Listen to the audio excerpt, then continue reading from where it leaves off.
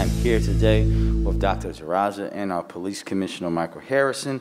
Uh, thank you for joining us for another COVID update in Baltimore. Over the course of the last four weeks, uh, Baltimore's new case count has risen 471%, uh, which leads us to having a total of 54,906 confirmed cases of COVID uh, throughout Baltimore's uh, battle with the pandemic. Our current uh, positivity rate is at 3.1%, which is a 365% increase over the past four weeks. And while hospitalizations are up with 85% of our ICU beds and 88% of our acute care beds utilized, new deaths are still low, uh, mostly due to our vaccination efforts. As the Delta variant continues to spread, we know uh, that vaccines are the difference between uh, life and death in our communities and for our residents.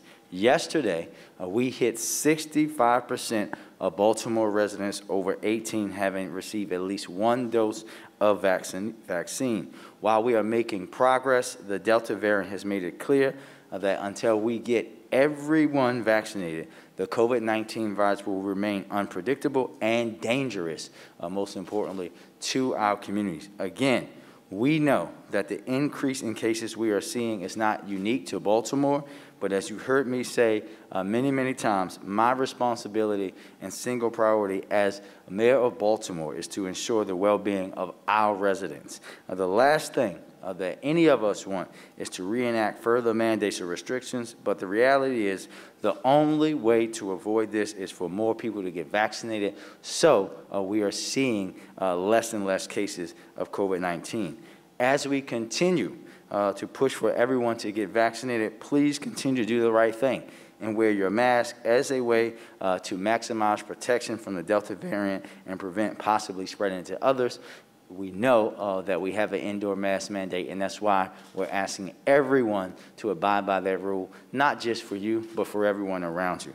I've said it and I before, and I'll say it again. The pandemic isn't over. We can see that. It's very clear across the country and across the world that it is not over. Uh, people will continue uh, to get sick and people will continue to die if we don't get more people vaccinated. So please take the necessary precautions to keep you and your family safe. Wear your mask, wear your mask, get vaccinated. As always, Dr. Dzirasa and I will continue to follow uh, the science and allow the data to drive our decision making as we continue to closely monitor the impact of the Delta variant. For more information on walk-up sites for vaccines and vaccine registration, please visit covax.baltimorecity.gov. That's C-O-V-A-X baltimorecity.gov. And now we'll turn it over to our health commissioner, Dr. D. Good morning, and thank you, Mayor Scott, for your continued leadership during the pandemic. Uh, to quickly review our latest case data, Baltimore City continues to see increases in some key indicators on our COVID-19 dashboard. As of yesterday, our daily new case count is approximately 74 new cases per day. As Mayor Scott mentioned, this is an increase of 471% from four weeks ago. To date, we have lost 1,132 residents to COVID. Based on current case counts and positivity, our current transmission rates still support the city's designation of an area with substantial transmission per the CDC. We are particularly concerned about increases in case counts among younger populations. Data for the past week shows the highest incidence rates of COVID-19 cases occurring among those in the 20 to 29 year old age group, with the second highest incident rate among children under the age of 10. With increased hospitalizations of children due to COVID-19 being reported across the country, it remains vital that all individuals, especially parents or caretakers of children, get vaccinated as soon as possible in order to protect not only themselves, but also to protect our children from this disease. Turning to the city's vaccination efforts, we are pleased to report that more than 54% of all Baltimore City residents and 65% of all adult residents over the age of 18 have received at least one dose of vaccine. We would also like to acknowledge the increasing number of vaccinations occurring among African Americans. Since July 1st, we have seen a 12.2 increase in the number of African American city residents getting a first or single dose of vaccine. This brings us to a total of over 154,000 first or single doses among African American city residents to date. This equates to about 48% of all first or single doses of the vaccine in the city overall being among our African American community. This information on the breakdown of vaccines by race is also available on our vaccine dashboard. Although there has been a decline locally and nationally in the number of vaccines being administered, we are proud to note that Baltimore City progress in individuals getting vaccinated each week is consistently one of the highest in the state. Each week, alongside our partners, we continue to operate dozens of vaccination clinics, including clinics being held during evening and weekend hours. Information regarding those hours and locations can be found on our social media, as well as our website, baltimorecity.gov slash bemorevax, or by calling 443-984-8650. If you are unable to leave your home, you and your caretaker can also register for vaccinations at your home by calling 443-984-8650 or by registering online at covax.baltimorecity.gov. While our increasing vaccination rates are encouraging, the work of the City Health Department and its partners continue and remains particularly crucial in the face of ever-growing threats of coronavirus variants like Delta, especially the threat they pose to our unvaccinated population. As a more transmissible version of the coronavirus, the risks posed by Delta are much greater in areas of the city with lower vaccination coverage, especially for that unvaccinated population. We continue to see the vast majority of COVID 19 hospitalizations in the state and in the country remain among unvaccinated patients. Earlier this week, acknowledging reports of lower vaccine effectiveness over time, the CDC announced that it would recommend the administration of booster doses for both Pfizer and Moderna vaccines. This recommendation is still subject to the Food and Drug Administration conducting an independent evaluation and determination of the safety and effectiveness of a third dose. With this announcement, the Health Department will be prepared to administer booster doses for the general population in alignment with CDC and Maryland Department of Health guidelines starting the week of September 20th. Currently, the recommendation is for booster doses of the mRNA vaccines to be administered at least eight months after completion of their two dose vaccination series. Keeping this in mind, boosters will be rolled out first to individuals that were prioritized for vaccination at the earliest phase of the city's vaccine campaign. This includes healthcare workers, first responders, and individuals working in public safety, among others. In preparation for this, the Health Department is in the process of planning both a semi permanent location for booster doses, as well as setting up vaccine access points in low vaccination coverage areas to provide those booster doses. The CDC also acknowledged that booster shots will likely be necessary for those who have received Johnson & Johnson's single-dose vaccination as well, and have indicated more information regarding those announcements in coming weeks. As your local health department, we will communicate updates as more information comes from the CDC. We are proud of our work supporting vaccination efforts across the city and I remain in awe of the tireless efforts of our staff and our clinical and community partners who work every day providing services to the residents here in Baltimore City. The presence of the coronavirus, coronavirus variant serves as a reminder to not put off the decision to get vaccinated any longer. The vaccines are safe and effective. If you are vaccinated and still get COVID, being vaccinated significantly reduces your chance of severe illness, hospitalization, and death, even for the Delta variant. So please continue to wear your mask indoors, wash your hands, be mindful of your distance, and encourage friends, family, and loved ones to get vaccinated as soon as possible. Thank you. Thank you, uh, Dr. Dzirasa, and thank you for your leadership and through guiding us through uh, this troubling time. Uh, before we take questions, I also want to direct uh, resident attention again. We I spoke to you guys about this a few weeks ago about some of our city services that we have restored. We know that many of our services were impacted during the pandemic, uh, but under my leadership, city government is working toward the full restoration of resident-facing services, but we will do that in a safe way, considering uh, that we are still in a pandemic. Residents can visit www.baltimorecity.gov slash service status. That's baltimorecity.gov slash service status to find a comprehensive list of services and their respective statuses. We will keep this site updated so residents can expect accurate, up-to-date information on a daily basis. As they have throughout the pandemic, the majority of city services uh, can be accessed online or over the phone, and residents are strongly encouraged to continue accessing city services online. I want to thank every one of our employees who have continued to deliver those essential services to our residents, those who have came back and allowed us to open the front-facing services to the public. Without each and every one of our workers, this pandemic would have been even tougher for our residents and folks who open businesses and are trying to open businesses in Baltimore uh, to bear. We want to thank our city employees from the depth of our hearts. So thank you, and now we'll take a few questions. Jane? That she had recommended that uh, the city mandate vaccines for city employees as they return. What, what is your thinking on that, and have you made a decision about that? No, actually, the, the Health Commissioner I met yesterday after uh, her hearing uh, discussing that, Jane, discussing booster shots and everything COVID-related. Uh, we're uh, currently exploring several uh, strategies to promote vaccinations and get people vaccinated. That is one of them. Uh, decision will be coming from me uh, as, as everything uh, from not just the Health Commissioner, from all of our city agencies, from the city administrator is being put into a final decision uh, for me to make, and I will make that decision in the coming, in the coming days and weeks. And just to follow up, do you have a current count I think the health commissioner said yesterday that among city school teachers, I believe you said the 80% level of vaccination. Um, obviously, that's not your agency, but do you have a count of city employees and their vaccination levels per agency? Dr. D?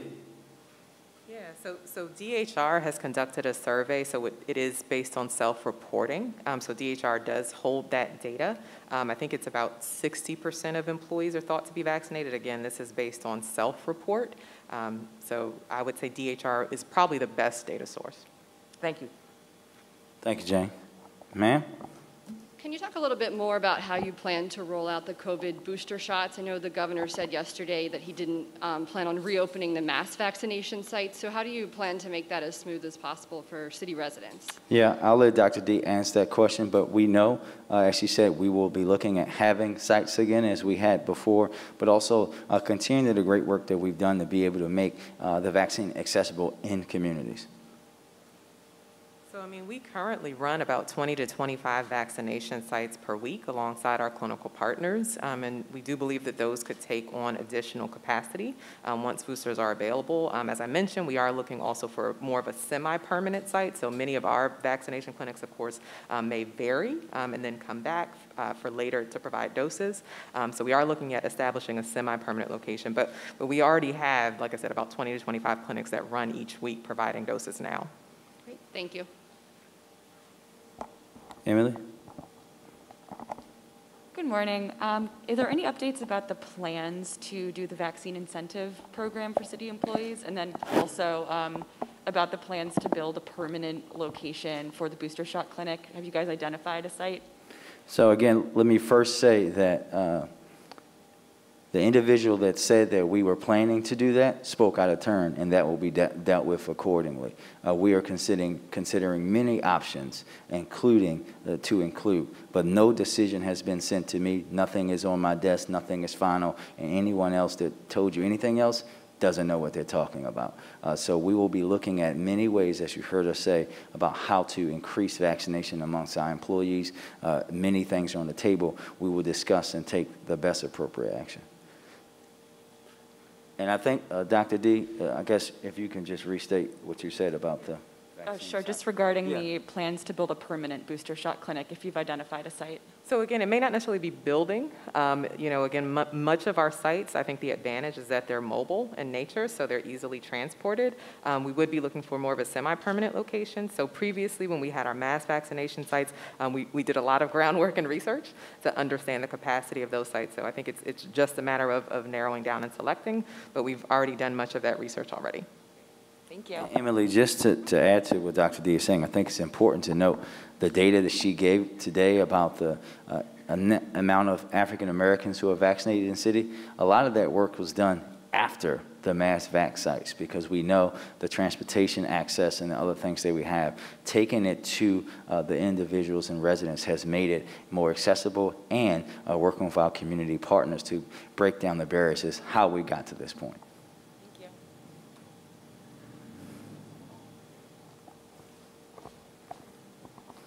Um, Regarding the discussions that are happening around mandating vaccines for employees, um, I've heard from at least one of the city unions, the Fire Officers Union, that said they would oppose this and they believe this needs to be bargained. Is that, what is your understanding whether this would need to be bargained with the various unions? Well, these are part of the discussions that we're having, Emily. Uh, we don't believe that it has to be bargained. Uh, we're always going to work with our partners in labor. Uh, we're going to be having those discussions uh, as we move towards making a decision. And I believe it, I don't believe it's the fire officers, I think it's the fire union. I think it's reversed, but yeah. I know it's confusing. It's two of them. Ma'am? Good morning, Mr. Mayor. I have an off-topic question. Um, Given what we know right now, there's a lawsuit pending, uh, potentially getting filed against a school district. We know that uh, City Councilman Robert Stokes has called a second hearing to bring the CEO back, but it's not until September, which after, the middle of September, after school starts. Do you think that's long enough, or should the city have to wait that long to get answers? And have you had any more communication with the CEO about the state of schools? Well, I think, listen, the council schedules what their business on council terms. I'm not a legislator anymore. I don't determine what happens there.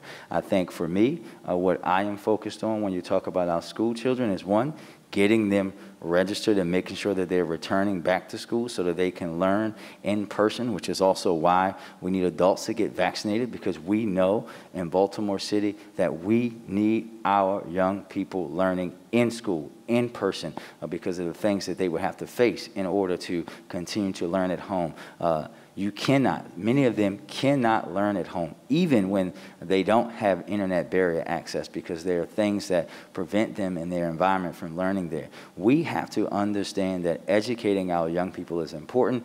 This is not for me. Again, this is not something that is just going to be a hot topic or a topic on a, nightly news uh, for folks to discuss we have to make sure that our system is continuing to grow. Uh, I don't comment on open lawsuits, as you know. That's not something I'm going to do. But I, what I will do for folks is to say, for everybody that wants to complain about what's going on in our schools, when's the last time you volunteered in the school?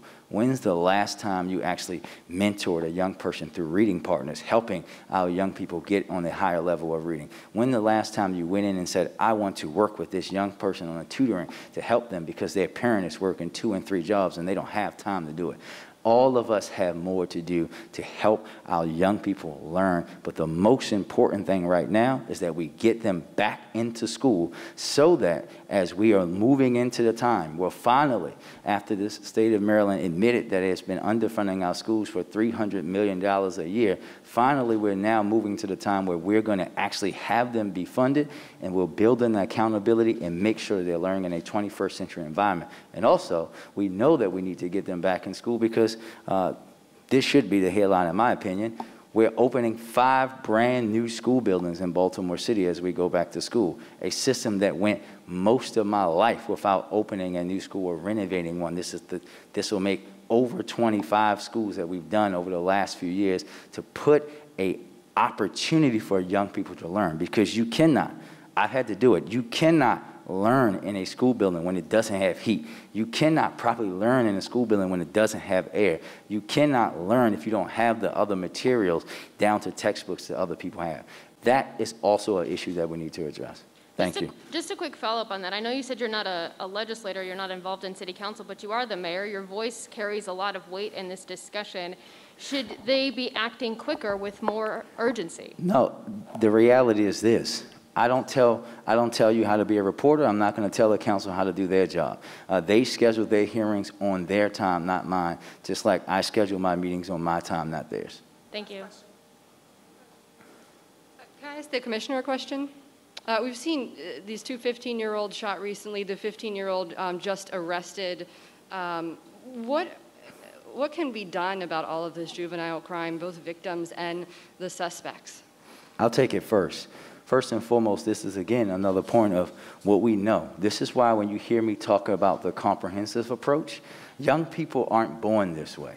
Uh, their society leads them to be this way. Missed opportunity leads them to be this way. Missed interventions lead them to be this way. This is why you hear us, and in my comprehensive violence reduction plan, talk about diversion for young people that go astray early so we prevent these things from happening opportunities for them and their families but also about accountability uh, for everyone right we have to understand that this young lady that was murdered this happened at like 1 o'clock in the morning a 15 year old shouldn't be outside. We have to talk about our responsibility as adults and people who are out there that allow these things to happen. This is not just about juvenile crime, this is about our young people and treating them in the way that we should, holding them accountable uh, as we should in any time that they're committing violence, but also understanding how society has pushed uh, many of our young people because we've been missing, and we have to intercede in that as well.